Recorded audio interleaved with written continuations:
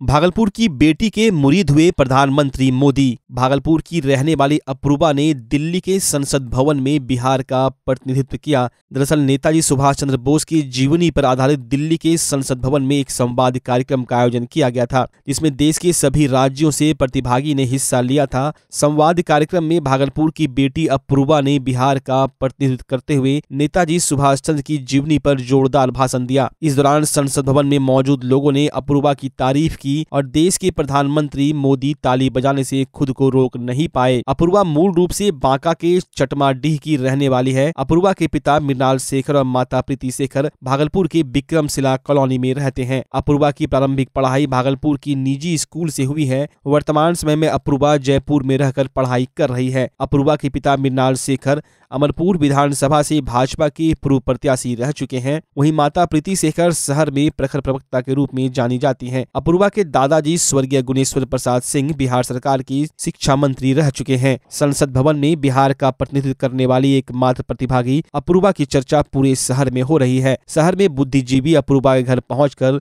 शुभकामनाएँ दे रहे हैं। नमस्कार, मेरा नाम अपूर्वा। जैसा कि आज आप सभी को पता है कि आज नेताजी सुभाष चंद्र बोस की 126वीं जन्म जयंती पूर्ण हो चुकी है। इस सुनहरे अवसर पर मुझे बिहार को रिप्रेजेंट करने का मौका मिला। वो भी पार्लियामेंट में इतनी कम उम्र में, ये मेरे लिए बहुत बड़ी बात है। और सबसे खुशी की बात यह है कि अभी तक पूरे जितने भी लोग यहाँ एक एक स्टेट से मतलब हर स्टेट से एक एक रिप्रेजेंटेटिव है, सबसे छोटी मैं हूँ। और इस कम उम्र में इतनी बड़ी ऊंचाई हासिल करना बहुत बड़ा बात है मेरे लिए। तो आज हम लोग पहले तो पार्लियामेंट गए वहाँ लोकसभा राज्यसभा देखा। उसके बाद हम लोग का स्टार्ट हो गया स्पीच। फिर हम लोगों ने सेंट्रल हम लोग सेंट्रल हॉल गए और वहाँ पे बहुत बड़े डिग्नेटरीज आए जैसे नरेंद्र मोदी जी राजनाथ सिंह जी ओम बिरला जी ऐसे बहुत सारे डिग्नेटरीज थे। फिर हम लोगों ने फ़ोटो क्लिक करवाई बातें की उसके बाद फिर हम लोग वापस लंच किए पार्लियामेंट में। फिर उसके बाद हम लोग पीएमओ गए प्राइम मिनिस्टर के ऑफ़िस उसके बाद वो वहाँ आए उनके साथ फ़ोटोग्राफ्स क्लिक हुआ. एंड उसके बाद उन्होंने इंटरेक्ट किया हम लोग के साथ एक घंटा जिसमें कि उन, उन्होंने हम हमसे लाइक अनेक सवाल पूछे. नेताजी सुभाष चंद्र बोस के बारे में बताए. वो बताए कि एक सच्चे देशभक्त की पहचान क्या है.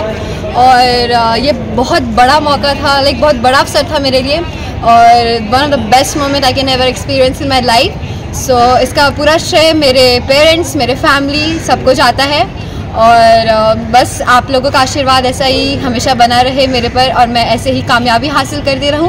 और आपका बिहार का और पूरे भारत का नाम ऐसे ही ऊंचाई पर पहुंचाऊं धन्यवाद। मेरे लिए खासकर अपूर्वा की माँ के तौर पर आप मुझे बहुत खुशी हुई।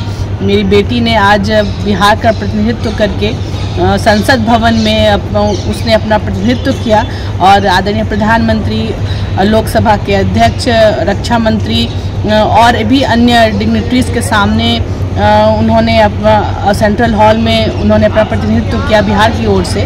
और मुझे बहुत इस बात की खुशी है कि जो पूरा समूह, पूरे देश से जिन तेईस बच्चों का चयन हुआ था, उसमें सबसे छोटी मेरी बेटी रही और इतने कम उम्र में इसने ये मुकाम हासिल किया। ये हमारे लिए बहुत ही गौरव का विषय है और मैं इसके लिए ईश्वर से ये प्रार्थना करती हूँ कि ये आगे भी इस, इसी प्रकार से इसे कामयाबी मिले और ये देश की के लिए के लिए गौरव का कार्य करते रहे।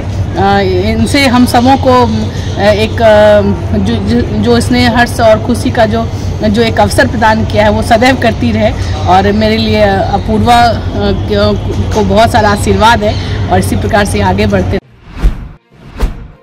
भागलपुर में गणतंत्र दिवस को लेकर तैयारियाँ जोरों पर चल रही है। दो साल कोरोना के कारण सभी तरह के कार्यक्रमों पर जहाँ पाबंदी लगी थी, जिस कारण कोई भी कार्यक्रम नहीं हो पा रहा था, लेकिन इस बार सभी तरह के कार्यक्रमों पर छूट मिलने के बाद सैंडिस कंपाउंड में गणतंत्र दिवस की तैयारी को लेकर फाइनल परेड की तैयारी का जायजा लेने जिलाधिकारी सुब्रत कुमार सेन और सीनियर एसपी आनंद कुमार पहुँचे, जहाँ उन्होंने परेड का जायजा लिया। जिलाधिकारी ने बताया की इस बार ग्यारह झांकियाँ निकाली जाएगी और भीड़ के मद्देनजर भी सुरक्षा के पुख्ता इंतज़ाम किए गए हैं।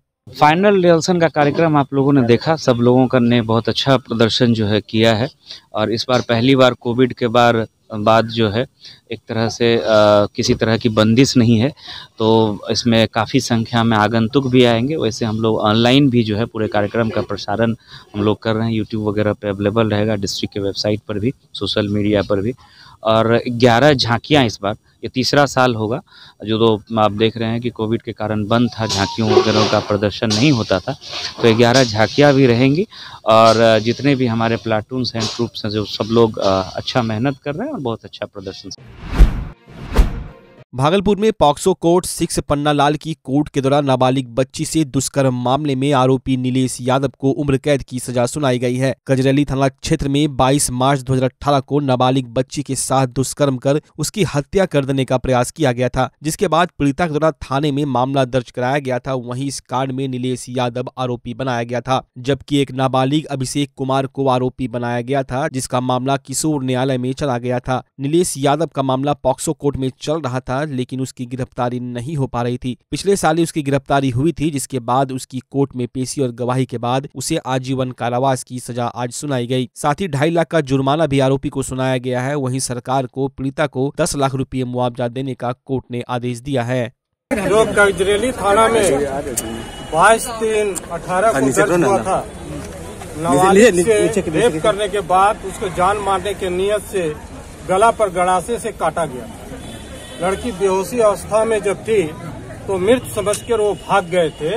वो अभियुक्त थे नीलेश यादव और उसके साथ एक अभियुक्त और थे जो अभिषेक कुमार अभिषेक कुमार किशोर न्याय बोर्ड चले गए।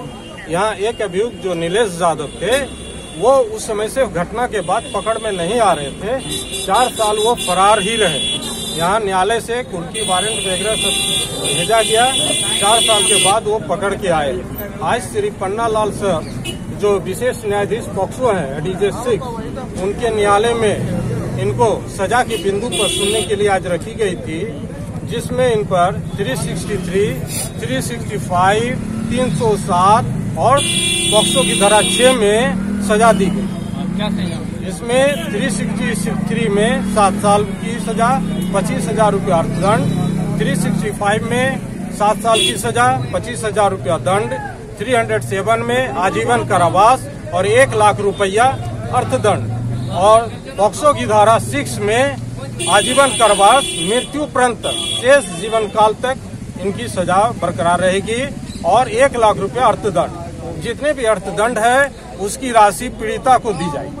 पीड़िता पीड़िता को जी जाएगी। टोटल अढ़ाई लाख रुपया होता है अर्थदंड। और पीड़िता के सहायता अर्थात, चूँकि वो बहुत ये हुई गरीब भी है तो उसको सरकार के द्वारा दस लाख रुपया मुआवजा राशि हेतु निर्देश बिहार में शराबबंदी है, वहीं जहरीली शराब पीकर लगातार लोगों की मौतें भी हो रही हैं। सिवान में जहरीली शराब पीने से कल ही जहाँ छह लोगों की मौत हो चुकी है, उसके बावजूद भी लोग शराब पीने से परहेज नहीं कर रहे हैं। शहर के बबरगंज थाना क्षेत्र के मोहद्दीन नगर मुख्य मार्ग के एक दुकान के सामने तीन घंटे से भी ज़्यादा समय तक एक शराबी बेसुध पड़ा रहा। आसपास के लोगों ने पानी देकर उसे उठाने का प्रयास भी किया, लेकिन नशे में चूर शराबी नहीं उठा। वहीं जब इसकी सूचना थाने को दी गई, तब थाना से पहुँची पुलिस ने उसे गाड़ी में बिठाया और थाने ले गई। वहीं आसपास के लोगों का कहना है कि धड़ल्ले से बिहार में शराब की बिक्री हो रही है, जिस कारण लोग शराब पीकर लगातार ऐसे देखे जा रहे हैं। वहीं आम लोग शराबबंदी को लेकर प्रशासन द्वारा उठाए गए कदमों पर भी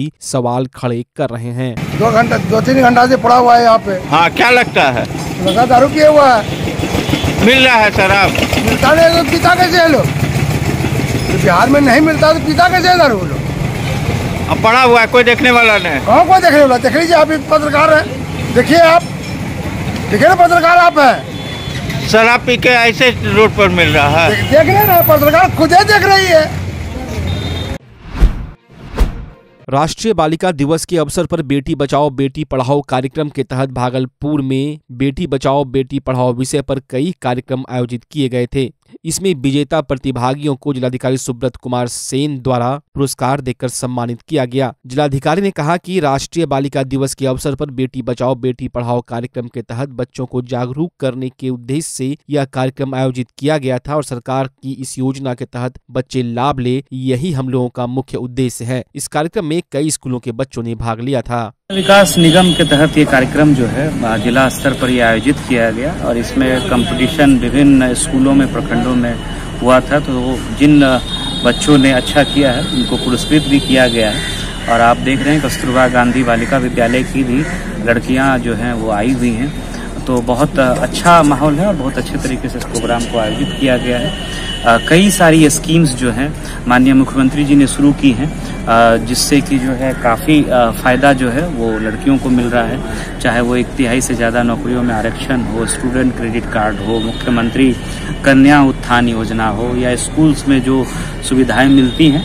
और इसी का परिणाम है कि अब कोई भी नौकरी हो, चाहे वो group C, group D, constable, DSP, deputy collector तो आपको काफ़ी संख्या में जो है वो महिला कर्मी पदाधिकारी आपको देखने को मिलेंगे। ये जो माननीय मुख्यमंत्री जी ने जो प्रयास शुरू किया था, या जो जीविका जो पूरे आंदोलन के रूप में है तो उसका असर देखने को मिल रहा है। काफ़ी बच्चे भी जो हैं, लड़कियाँ उत्साहित हैं। तो इस कार्यक्रम के सफल आयोजन के लिए मैं पूरी टीम को धन्यवाद भी देता हूँ। समाहरणालय के सामने से ग्राम रक्षा दल सह पुलिस मित्र के द्वारा गणतंत्र दिवस और सड़क सुरक्षा को लेकर जागरूकता रैली निकाली गई। रैली में ग्राम रक्षा दल के पुरुष और महिला सदस्य हाथ में तिरंगा लिए पूरे शहर का भ्रमण कर लोगों से हेलमेट लगाने और सीट बेल्ट लगाकर चलने की अपील करते नज़र आए। वहीं सड़क दुर्घटना में लगातार हो रही वृद्धि को रोकने के लिए नियमों का पालन करते हुए वाहन चलाने की अपील की गई आपको बताएँगे की आप हेलमेट पहनिए और नशा नहीं कीजिए, क्योंकि नशा करने के बाद वो संतुलित हो जाता है एक्सीडेंट हो जाता है और हेलमेट पहनने से आपका माथा बचेगा। इसी वजह से हम लोग संदेश देने आए हैं, गणतंत्र ये रैली गणतंत्र दिवस के शुभ अवसर पर नशा मुक्ति हमारे बिहार में जो ड्रीम प्रोजेक्ट बिहार सरकार का है, उसमें हम लोग नशा मुक्ति अभियान निकालें और गणतंत्र दिवस के शुभ अवसर पर एवं रोड एक्सीडेंट के लिए हम लोग सुरक्षा अभियान निकालें। और भागलपुर के बरारी थाना क्षेत्र के सुर्खीकल झोपड़पट्टी मिश्रा टोली में नशा मुक्त समाज बनाने को लेकर बरारी थाना और जनता के बीच एक अहम बैठक रखी गई, जिसमें पूरे बरारी समाज को नशा से मुक्ति दिलाने पर चर्चा की गई। एक तरफ़ जहाँ समाज के कई गण्यमान लोगों ने अपनी बातें रखी, वहीं दूसरी ओर प्रशासन ने भी स्वच्छ व स्वस्थ साथ ही नशा मुक्त वार्ड बनाने की बात कही। भाजपा नेत्री बबीता मिश्रा ने लोगों से अपील करते हुए कहा कि अपना भागलपुर को पंजाब न बनाए। जिस तरह पंजाब में युवाओं में नशे की लत है, उससे यहाँ के युवा दूर रहे। उन्होंने कहा कि यहाँ के 90 प्रतिशत महिलाएँ किसी काम में बढ़ चढ़कर हिस्सा ले रही हैं। उम्मीद हमारा वार्ड व समाज नशा मुक्त बनेगा। वहीं कार्यक्रम के दौरान गाँव के धनंजय यादव, फंटूस कुमार सहित दर्जनों लोग मौजूद थे। इसमें तो हम ये बोलना चाहेंगे ना कि ये कदम तो पहले ही उठ जाना चाहिए था। जिस हालात में ये भागलपुर है, जो दूसरा पंजाब बन गया है तो कोई तो ये मुद्दा उठाया नहीं है। मेरे वार्ड का जो फंटूस है, वो एक मुद्दा उठाया साथ साथ और वो भी नशा को लेकर के जो कितना घर बच्चा बिगड़ रहा है, इस पर कोई आवाज़ नहीं उठा था आज तक भागलपुर में।